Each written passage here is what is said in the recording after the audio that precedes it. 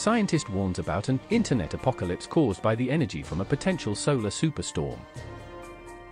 While we enjoy the beauty of the northern lights, the energy from these solar storms could potentially cause what a researcher calls an internet apocalypse. Professor Peter Becker and his team are on a mission to develop a warning system that can alert us about risky solar activity that might harm important technology.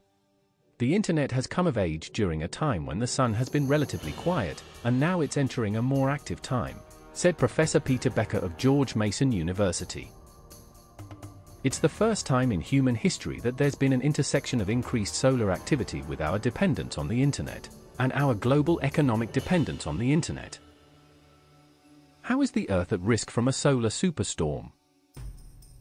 The researcher explains what solar flares can do to the Earth. When the sun brightens, and we see the radiation, and that's kind of the muzzle flash. And then the cannon shot is the coronal mass ejection. So, we can see the flash, but then the coronal mass ejection can go off in some random direction in space. But we can tell when they're actually going to head towards Earth. And that gives us about 18 hours of warning, maybe 24 hours of warning, before those particles actually get to Earth and start messing with Earth's magnetic field. The power grid, satellites, underground fiber optic cables with copper coatings, navigation and GPS systems, radio transmitters, and communication gear are all at risk.